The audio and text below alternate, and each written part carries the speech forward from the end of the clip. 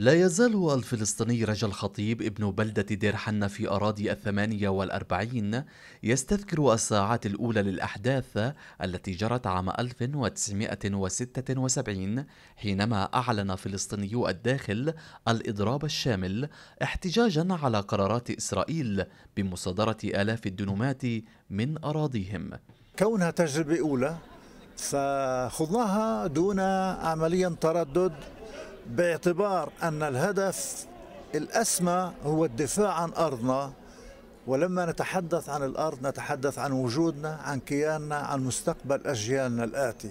الحكومات الإسرائيلية سعت إلى تدجين جماهيرنا العربية ولذلك خافت تخوفت من أن هذا الجمهور هذا الشعب قد يمكن أن يفتح القفص ويهرب منه. ولتسليط الضوء أكثر على الأحداث التي جرت في يوم الأرض عام 76 استضافت جامعة بيرزيت شخصيات فلسطينية من الداخل. الشخصيات أكدت أن المشاريع الإسرائيلية التهويدية ومصادرة الأرض لم تتوقف حتى يومنا هذا. في شراسة إسرائيل لم تختلف. إسرائيل يعني حاولت أن تغلق ملف الأرض حتى الثمانينات. هي صادرت أكبر كم من الأراضي في الداخل صادرتها في الثمانينات. لكن حتى الآن هي تحاول أن تلاحق وتصادر وليس فقط الأرض الوعي.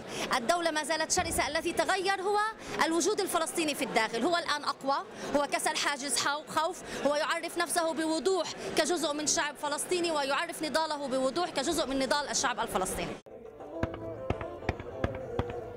وفي الضفة الغربية لا يختلف المشهد كثيرا حيث تشير الأرقام والمعطيات إلى أن إسرائيل تضع يدها على أكثر من 60% من أراضي الفلسطينيين.